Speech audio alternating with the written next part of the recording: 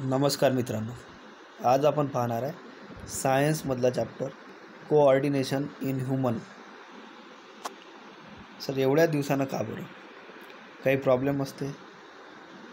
तब्येतीचा issue science break नाही झाला आपलं ना करंट अफेअर ब्रेक झालं सर्वच होणार आहे. मी करंट अफेअरचं हप्त्या टू हप्ते टाकेन शनिवार शनिवारी कंप्लीट करून देतो. जो राहिलेला आहे ते करंट अफेअर आपलं कंप्लीट होईल. सायन्सही थांबलं नाही आहे सायन्सचंही लेक्चर आपले चालूच राहील ऑनलाईन यूट्यूबवर फक्त दोन चार दिवसात काही तब्येतीचा इश्यू होता. म्हणून आपलं राहून गेलं.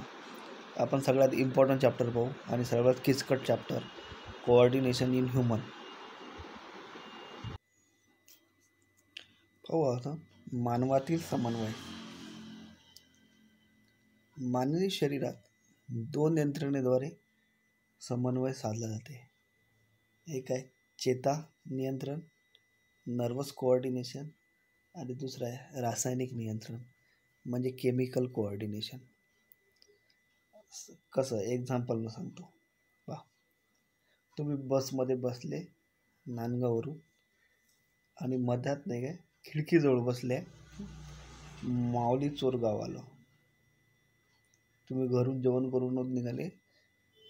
गडबडीत निघाले. माऊलीजवळ गेले. माऊलीजवळ बस थांबली. खिडकीतून बाहेर पाहिले. तुम्ही बाहेर बघितलं तर तुम्हाला नाही काय गरम भजे काढताना दिसलं. भजे काढणं चालू होतं. पावसाळ्याचं सीझन आहे. बाहेर पाऊस पडत आहे. समोर पाणी आहे म्हणून गाडी थांबलेली आहे. आणि जसं पाहतं तुमच्या तोंडाला नाही का पाणी सुटलं. आता गरम भजे पावसाळ्यात पाहिल्याबरोबर पाणी सुटणे म्हणजे काय होते? जेव्हा नाही का आपण डोळ्याद्वारे आपण तो प्रसंग पाहिला तेव्हा हा प्रसंग जो पाहिलेला आहे हा डोळ्याद्वारे नाही काय चेतासंस्थाकडे गेला. चेतासंस्था. चेतामध्ये असते मेंदू आणि मेदूरज्जू आपला समजा.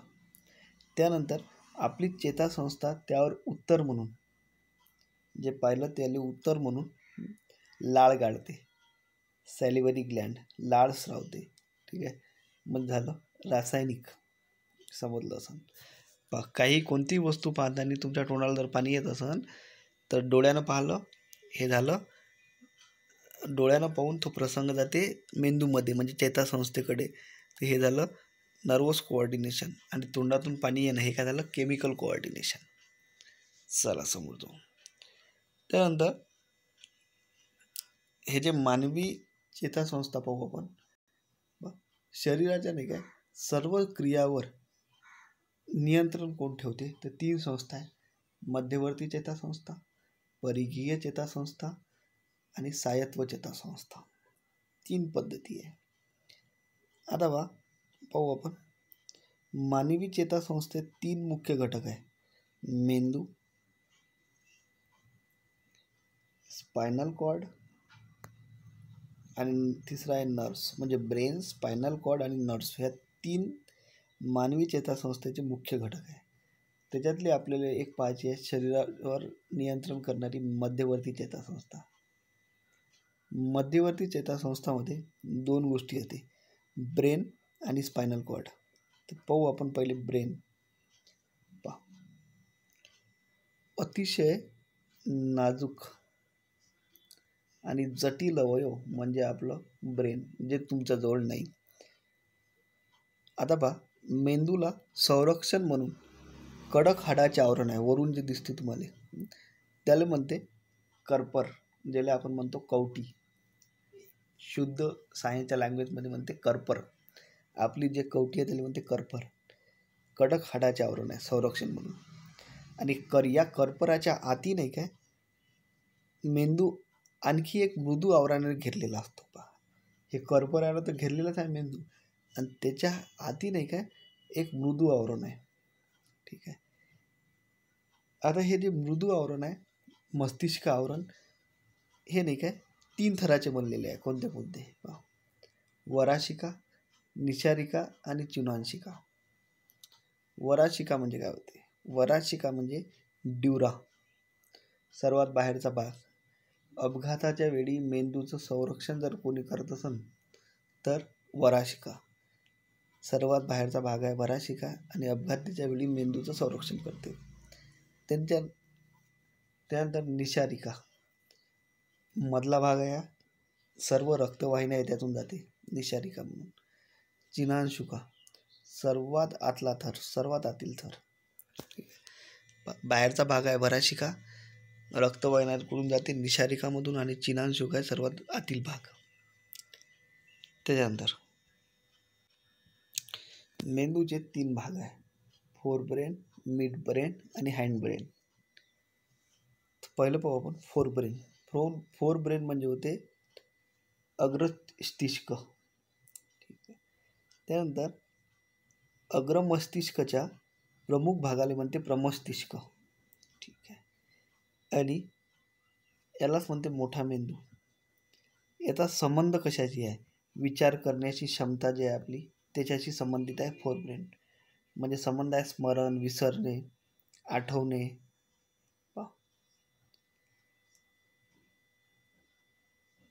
हा नाही काय? डोळ्यामुळे हा भाग प्रभावित होतो. विचारते प्रमस्तिष्क कशामुळे प्रभावित होतो? तो डोळ्यामुळे. म्हणजे आपली कधी कधी नाही काय जर आपण व्हिज्युअलाइज केलं तर आपल्या लवकर लक्षात राहते. ठीक आहे? हे प्रमस्तिष्कमुळे त्याच्यानंतर अनुमस्तिष्क म्हणजे मिड ब्रेन हा काय? शरीराचा तोल सांभाळणे उडी मारणे धावणे यावर नियंत्रण ठेवते अनुमस्तिष्क. त्यानंतर पहा हाईंड ब्रेन हाईंड ब्रेन म्हणजे असं समजा छोटा मेंदू. हा नाही काय? श्वसनावर हृदयावर नियंत्रण ठेवते, शिंकणे, खोकलणे यावरही नियंत्रण ठेवते. छोटा मेंदू हँड ब्रेन. ते म्हणते ना यहाँ पे मत मारो, पीछे मत मारो बोलते. नहीं तो वहाँ पे छोटा दिमाग होता है वहाँ पे चोट लगने से आदमी मर जाता है नाना पाटेकर प्रमस्तिष्क म्हणजे काय होते? मोठा मेंदू आणि छोटा मेंदू म्हणजे heart hind brain. Mid brain काय करते? शरीराचा तोल सांभाळते. ठीक आहे दारू पेल्यावर आलं लक्षात? स्मरण विसरणे आठवणे. तर म्हणजे तुम्हाला जर तुमची स्मरणशक्ती चांगली नसन तुम्ही लवकर विसरत असाल तर तुमच्यात कशात फॉल्ट आहे? फोर ब्रेनमध्ये आणि तुमचा जर शरीराचा तोल तुम्ही सांभाळू शकत नसाल तर मिड ब्रेनमध्ये हाईंड ब्रेन म्हणजे काय होते? छोटा मेंदू. आता हे तुमच्या हातात नाही आहे. शोषणावर नियंत्रण हृदयावर नियंत्रण. हे अनैच्छिक क्रिया आहे. चला समोर पाहू. त्याच्यानंतर दुसरी आहे परिघीय चेतासंस्था. तर पाहू आपण परिघीय चेतासंस्था काय परिघीय चेतासंस्था म्हणजे शरीराचे सर्व अय अवयव मध्यवर्ती चेतासंस्थाला जोडण्याचे कार्य परिघीय चेतासंस्था करते. पहा आता पाहू. याच्यात नाही का सर्व चेतांचा समावेश होते. चेता म्हणजे पहिले काय होते? नर्व्स. नर्व्स म्हणजे चेतापसी चेतापेशी आणि न्यूरॉन्स आपले आणि चेताबंद या दोघापासून बनलेला दोरीसारखा भाग म्हणजे चेता. नर्स म्हणजे काय होते? चेताप्लेसी प्लस चेताबंद यापासून बनते. चेतापेशी काय? या चेतापेशी तीन भागात कार्यरत आहे. वृक्षिका पेशिकाय आणि अक्षतंतू. वृक्षिका काय करते? आपल्या सभोवताली जे वातावरण आहे त्याची सर्व माहिती चेतापेशी या भागाद्वारे एकत्रित करते वृक्षिकाद्वारे म्हणजे आपल्या सभोवतालची जी माहिती आहे ते एकत्र करण्याचं काम कोणाचं आहे?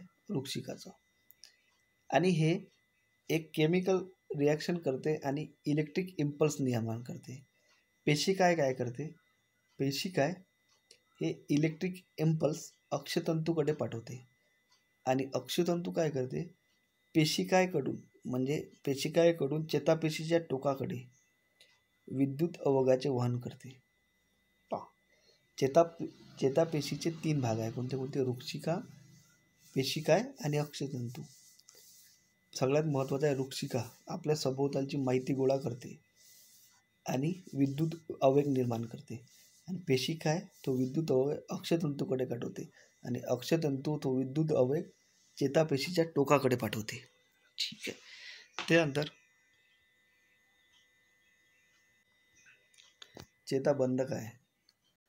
चेताबंध नाही का? हा चेतापेशींना आधार देतात व त्यांच्या कार्यात मदत करतात. चेताबंध ठीक आहे.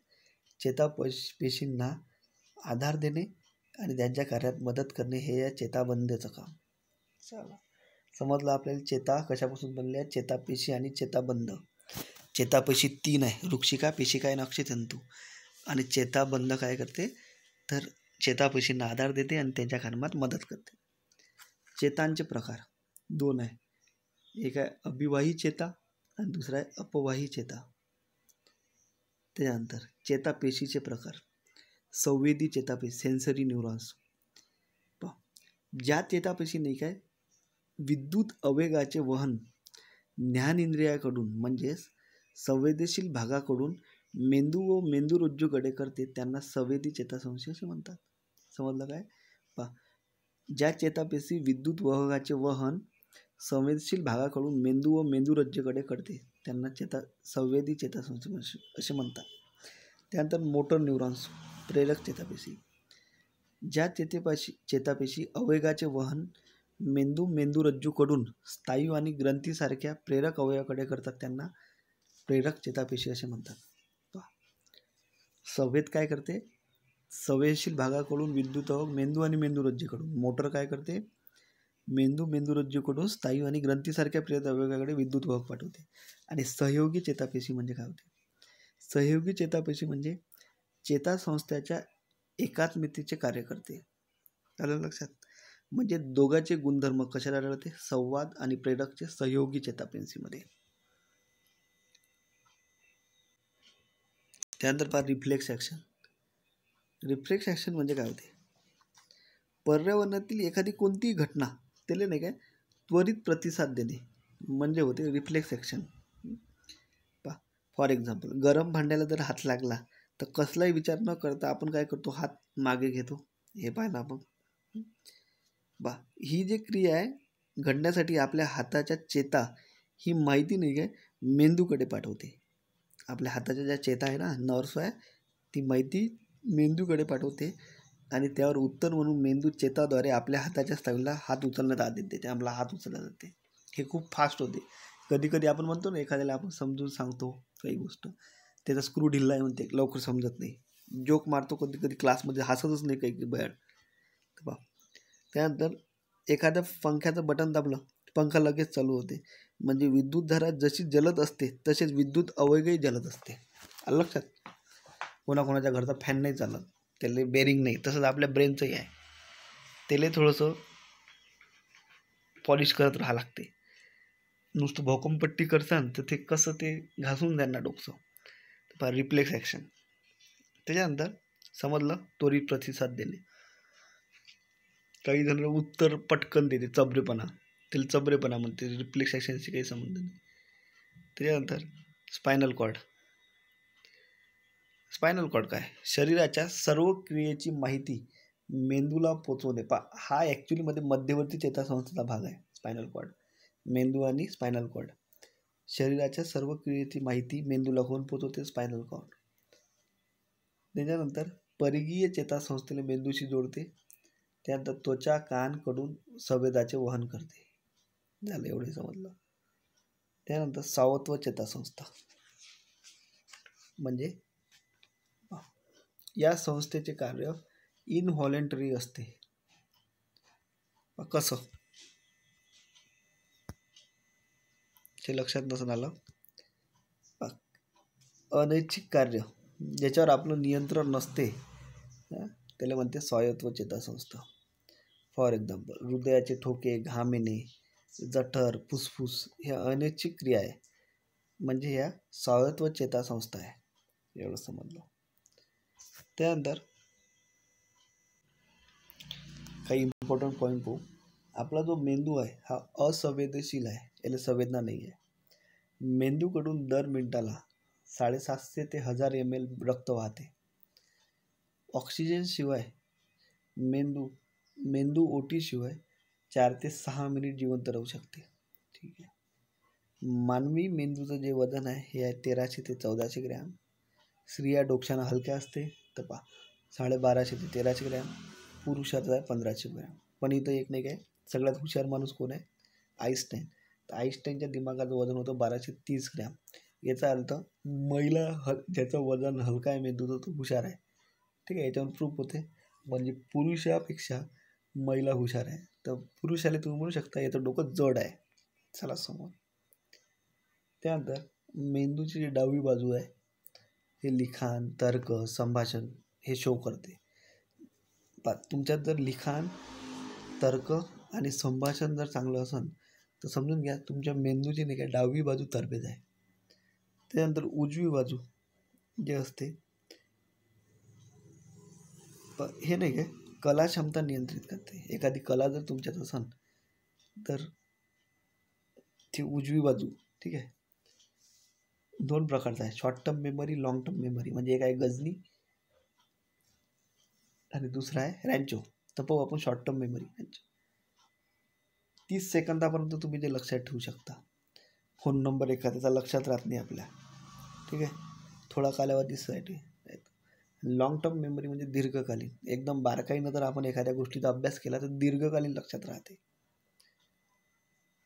त्यानंतर मेंदूले आपल्या वीस टक्के ऑक्सिजनची गरज आहे आणि चौदा टक्के रक्ताची. आणि याच्या अभ्यासशास्त्राला म्हणते न्यूरोलॉजी. ठीक आहे? मेंदूचा अभ्यास करणाऱ्या शास्त्राला काय म्हटलं जाते? न्यूरोलॉजी. त्याच्यानंतर एक घटक तुम्ही पाहिला नाही थॅलामस. थॅलामस म्हणजे काय होते? थॅलामस म्हणजे हा नाही काय फोर ब्रेनचा महत्त्वाचा भाग आहे. जे फोर ब्रेन पाहिलं होतं ना आपण? फोर ब्रेन मिड ब्रेन आणि हाईट ब्रेन. थॅलामसमध्ये काय होते? आपल्याला नाही का स्पर्श थॅलामस आहे. आपल्या फोर ब्रेनमध्ये म्हणून आपल्याला नाही का एखाद्याला स्पर्श जाणवते तापमान जाणवते दाब जाणवते वेदना जाणवते. कधी कधी म्हणतो सुन्न झालं आपलं. तर ते सुन्नीचं जे औषध देते ते कशावर मारा करते? थॅलामसवर. त्यानंतर हायपोथॅलामस. हाही नाही का याचाच भाग आहे फोर ब्रेनचा. हा जो हायपोथॅलामस आहे हा नाही का आपल्याला भूक तापमान आणि पाण्याचा समतोल दाखवते. आपल्याला भूक लागली तापमान आणि पाण्याचा समतोल. त्यानंतर पण इम्पॉर्टंट एक आय क्यू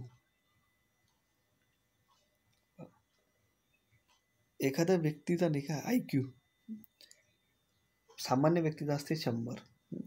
जर एकशे चाळीस तुमचा आय क्यू आहे तर तुमची तुम्ही एकदम इंटेलिजन्स आहे. जर तुमचा आय क्यू सत्तर किंवा त्यापेक्षा कमी आहे तर तुम्ही मानसिकदृष्ट्याने का दुर्बल आहे? ठीक आहे? पहा बरोबर. सत्तरपेक्षा आय क्यू कमी असेल तर. आणि एकशे चाळीस असेल तर इंटेलिजन्स पहा. आता मेन प्रश्न आहे की ब्रेनले नाही काय रक्तपुरवठा कोण करते? ब्रेनले रक्तपुरवठा करते बरोबर लक्ष द्या. कॅरटॉईड आर्टरी कॅरटॉईड आर्टरी ब्रेनले नाही का रक्तपुरवठा करते. त्याच्यानंतर बा